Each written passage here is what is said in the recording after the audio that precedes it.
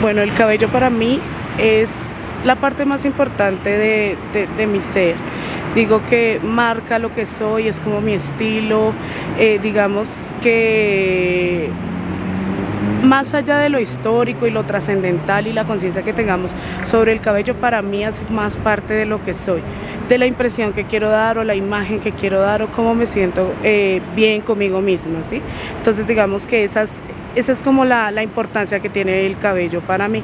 Ya después pues fui descubriendo como la parte histórica, lo político de mi cabello. Pero bueno, en estas estamos por ahora.